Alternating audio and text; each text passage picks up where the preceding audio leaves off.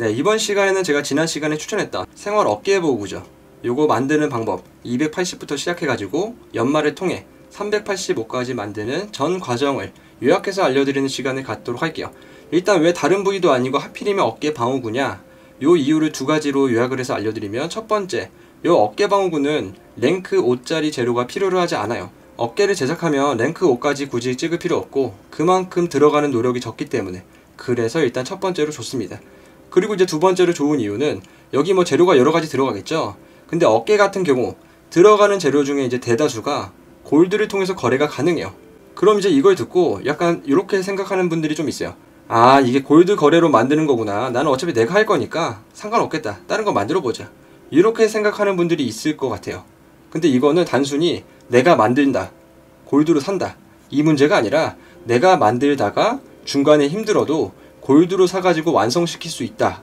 이렇게 이해를 하셔야 되는 문제예요. 이게 생활 자체가 아무래도 노가다가 있다 보니까 중간에 사람이 지칠 수가 있어요. 근데 다른 부위 같은 경우 이제 귀속되는 아이템들 비율이 좀 많고 내가 결국에는 내가 다 해야 돼요. 그럼 사람이 힘들죠. 아우 힘들어 죽겠는데 지금까지 한 건 아깝고 앞으로 해야 될 거 힘들고 와 노답이다 이렇게 나오지만 제가 이번에 알려드리는 어깨에는 하다가 힘든 경우 골드를 통해서 구매를 하고 그 부분을 메꿀 수가 있습니다. 그래서 이 두 가지 이유 때문에 제가 어깨를 추천해 드리는 이유고 그렇다고 다른 부위를 만든다고 잘못됐다는 건 아니에요. 제 기준으로는 어깨가 좋기 때문에 추천해 드리는 겁니다. 예, 그럼 이제 제작하는 준비 과정을 알려드려야 되죠. 근데 이 과정 자체는 제가 예전에 이미 다 알려드렸어요. 말레 가이드 6화 영상을 보시면 지금 여기 보이는 로나온 영지 있죠? 로나온 영지 솔로 파밍 방법을 제가 예전에 알려드렸고 그거 그대로 또 하시면 돼요. 요거 자체를 제가 이번 영상에 또 알려드리면 영상이 너무 길어지고 좀 주제가 어긋나요. 그래서 요거를 제가 다시 안 알려주는 이유는 아 그 영상 또 보고 또 여러 개 봐라 이놈들아 이게 아니라 그런 거 절대 아니에요. 여기서 이걸 또 알려드리면 너무 영상 자체가 길어지고 주제가 좀 벗어나기 때문에 그래서 6화 영상을 보고 오라는 이유는 그겁니다. 결과적으로 로나온 영지를 혼자 가셔가지고 두 가지 목적으로 파밍을 하시면 돼요. 첫 번째 플래티넘 주화 그리고 두 번째로 소금꽃 요 두 가지를 중점적으로 파밍을 하시면 돼요.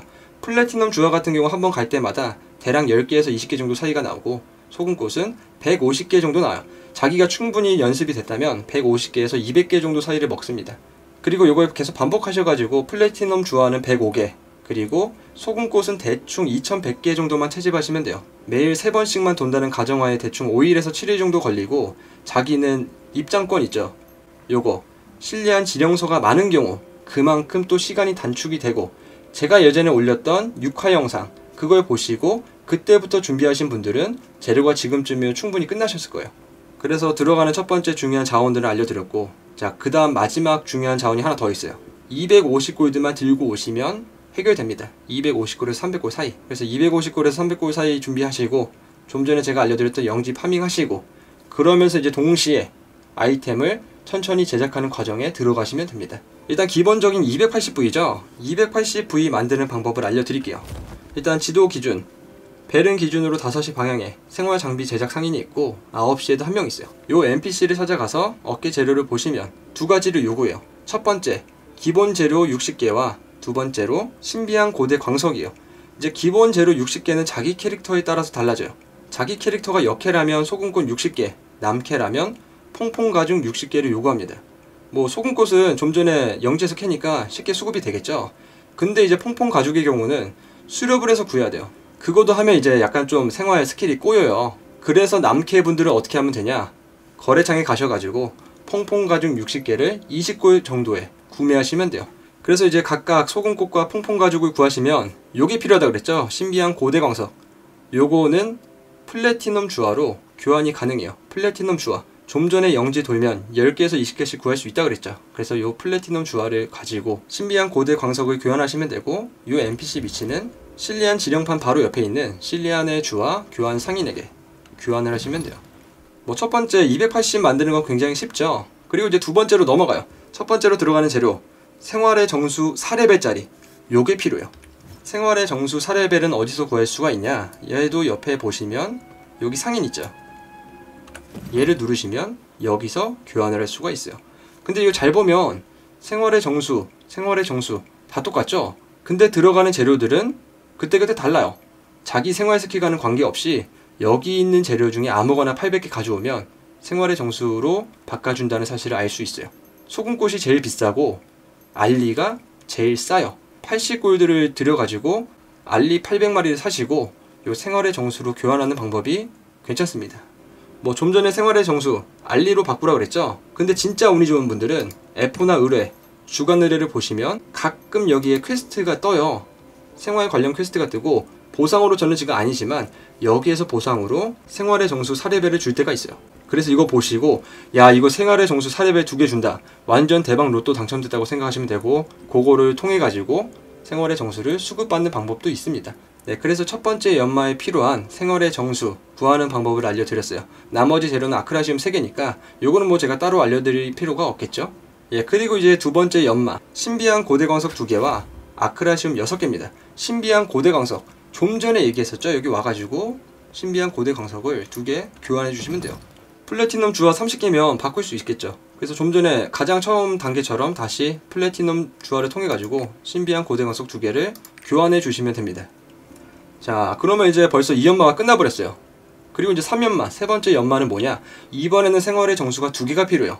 그래서 제가 좀 전에 알려드린 알리, 아니면 주간 퀘스트를 통해 가지고 생활의 정수 두 개를 더 구하시고 세 번째 연마를 완료하시면 돼요. 알리로만 사는 경우에는 생활의 정수가 3개 필요하죠. 83, 24, 대략 240 골드가 필요하고 처음에 말했던 소량의 골드 사용하는 거 있죠. 그건 여기서 끝나요. 네, 이렇게 생활의 정수 두 개가 필요한 세 번째 연마도 끝나셨으면 이제 네 번째 연마가 남았죠. 요거는 조금 어려워요. 요거는 마지막 고비라고 생각하시면 돼요. 요거 보면 지금 리베하임 꽃이라고 있어요. 그리고 교환 자체를 소금꽃 2000개와 교환을 할 수가 있습니다. 제가 영상 앞부분에 소금꽃 2000개 정도 필요하다 그랬죠? 그게 바로 이것 때문이에요. 사연마 재료에는 리베아인 꽃 그리고 아크라시움이 필요로 하기 때문에 결과적으로 소금꽃 2000개가 필요합니다. 뭐 다른 재료로는 안 돼요. 무조건 소금꽃 2000개. 그래서 유난히 소금꽃이 비싼 이유가 이것 때문에 그래요. 아니 근데 이거 2000개 구하는 것 자체가 힘든 사람이 있을 수 있어요. 그래서 다른 방법이 하나 있어요. 이 소금꽃을 이용하지 않고 리베하임 꽃을 어떻게 구할 수가 있냐? 여기 보면 지금 여기 지역 있죠? 여기 누르시고 여기 보면 섬이 있어요. 리베하임. 여기를 누르시면 여기 안에 억센 소금꽃이라는 풀이 자랍니다. 해당 억센 소금꽃을 캐시면 극악의 확률로 리베하임 꽃을 그냥 줘버려요. 그래서 본인은 아 나는 소금꽃 2,000개 못 해 먹겠다 이거 언제 플래티넘 필드 계속 돌아오면서 이거를 구해? 이런 분들 있죠. 이런 분들은 플래티넘 필드 일단 하루에 세 번씩은 일단 도시고 남은 시간대 여기 섬에 오셔가지고 억센 소금풀을 좀 노가다 하시는 것도 방법이에요. 네, 이렇게 리베아인 꽃 구하고 아크라시움 11개를 때려 박으면 이제 5단계 연마가 끝나게 되고 마지막 6단계 연마가 남게 됩니다. 자 다시 일로 오셔가지고 마지막에 들어가는 재료는 신비한 고대광석 4개와 아크라시움 17개입니다. 마지막으로 지금까지 들어갔던 재료들을 싹 요약해서 알려드리면 여자 캐릭터의 경우 소금꽃 2060개 그리고 신비한 고대광석 7개 플래티넘 주화 105개죠. 그리고 생활의 정수 3개 그 정도가 들어갔고 마지막으로 아크라시움은 51개가 들어갔어요. 남캐의 경우도 뭐 다 똑같지만 소금꽃 대신에 처음에 들어가는 재료 60개가 소금꽃이 아니라 퐁퐁 가죽이었죠. 그래서 그거로 바꾸시면 되고 나머지는 모두 동일합니다. 네, 이렇게 해서 오늘은 간략하게 생활 어깨 보호구 만드는 방법, 재료 구하는 방법들을 제가 아는 한도 내에서 최대한 다양하게 알려드렸습니다. 뭐 알리나 퐁퐁 가죽 살 때는 사실 어려운 거 없어요. 벨은 아니면 바다 나가셔가지고 채팅창 보시면 파는 사람들이 보일 거예요. 그런 분들에게 사시면 되고 뭐 개인 능력에 따라서 세일을 받을 수 있겠죠.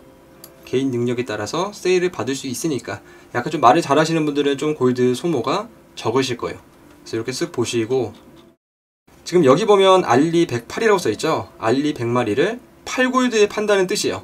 그래서 어우 10골보다 더 싸잖아요. 저런 식으로 알리 자체는 비싸지 않으니까 알리 직접 구매하는 거 추천해드리고 퐁퐁 가죽도 직접 구하기 귀찮아요. 힘들어요. 그것도 그냥 직접 사셔가지고 골드 충당을 하는 거 추천해드리고 요번 영상은 뭐 충분히 다 설명해 드린 것 같아요.